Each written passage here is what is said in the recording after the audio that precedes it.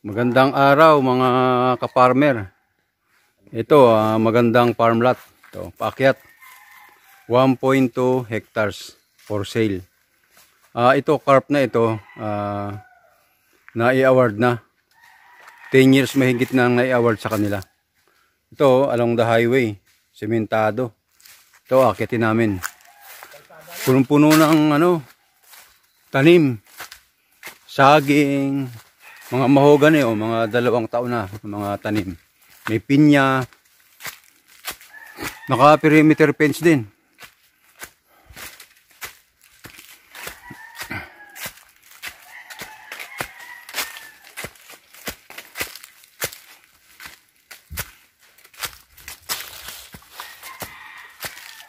Ganda ng pinyahan oh.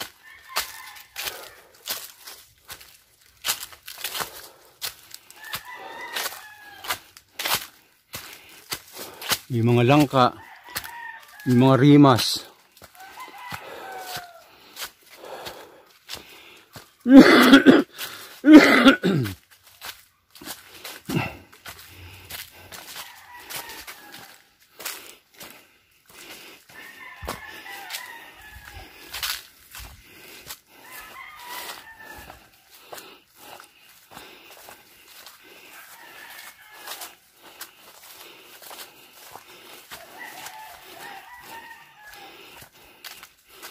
Yung puno ng kawayan.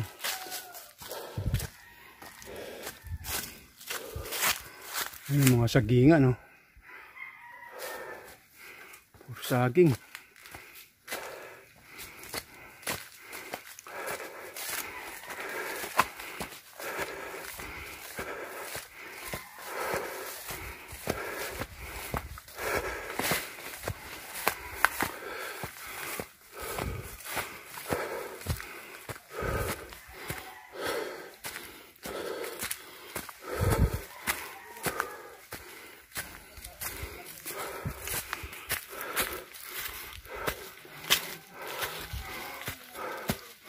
Ayan, may mga punong mangga.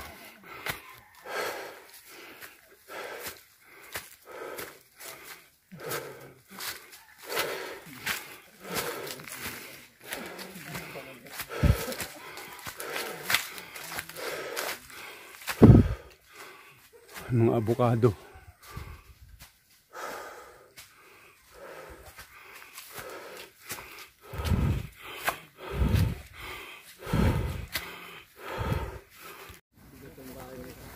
Ito ngayon ang ano niya, ang peak. Yung lupang binibenta. Kulang-kulang apat na hektarya, paikot.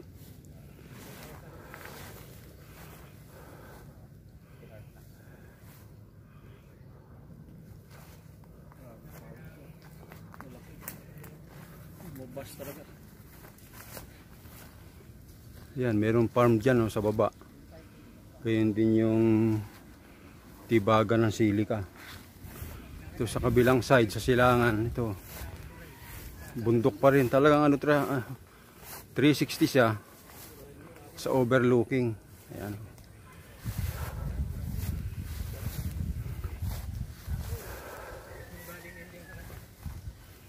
Ito sa kabilang side.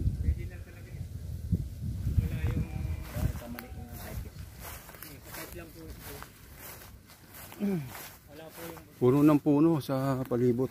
ang tak nito. May mangga, may atis, may kasoy, may suha, may langka, may dalandan.